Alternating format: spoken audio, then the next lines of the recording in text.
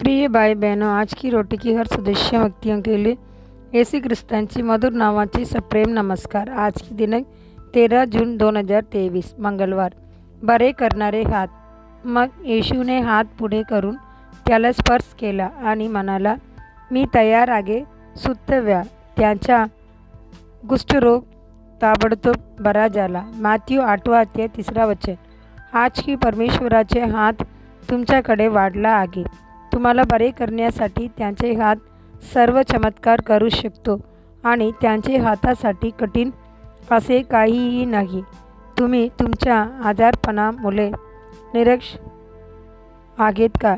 आपण आपल्या कुटुंबासाठी आपल्या जबाबदाऱ्या पार पाडण्यास अशा मागेत का?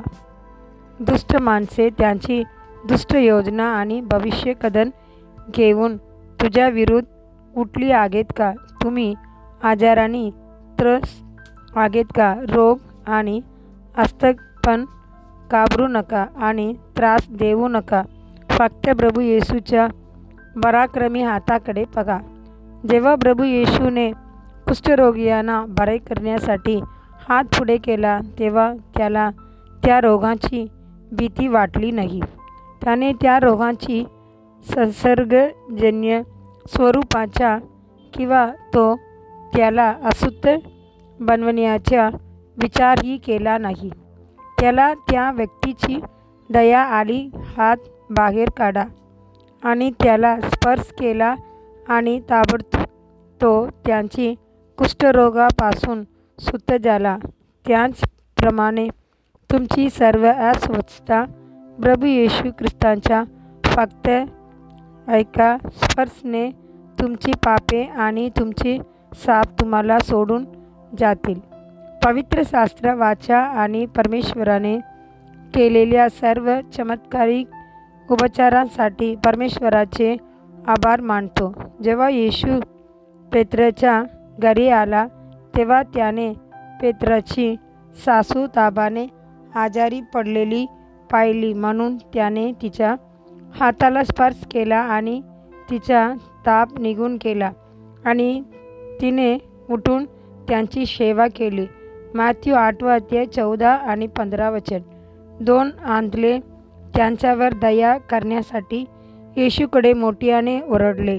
म्हणून येशूला कलवला आला आणि त्याने त्यांची डोळ्यांना स्पर्श केला आणि लगेच त्यांची डोळ्याने दृष्टी मिळाली आणि ते त्यांच्या मागे गेले.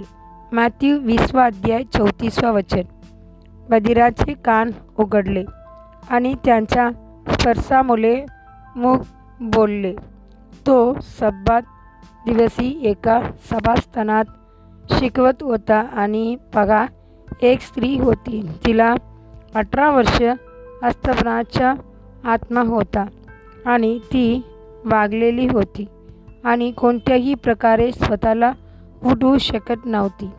पण जेव्हा येशूने तिला पाहिले तेव्हा त्याने तिला आपल्या जवळ बोलावले आणि तिला म्हटले बाई तू तुझ्या आस्तपणापासून मुक्त झाली आहेस.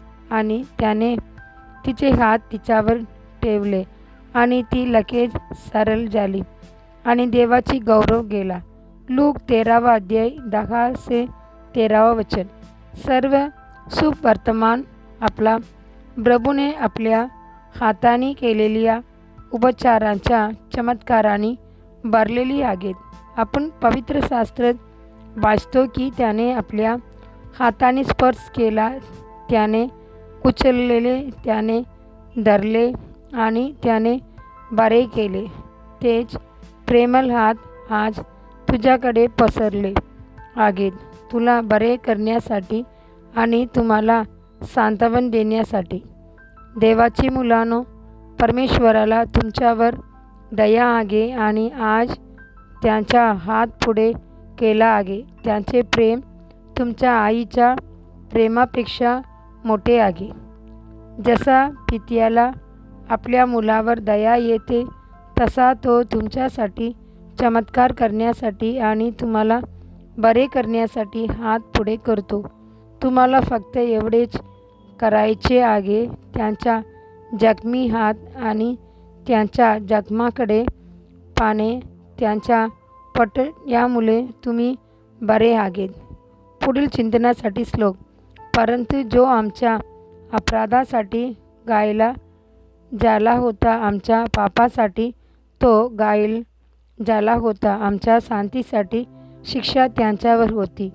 आणि त्यांच्या पटियानी आम्ही बरे झालो. एसाया त्रेपन्न अध्याय पाचवा वचन.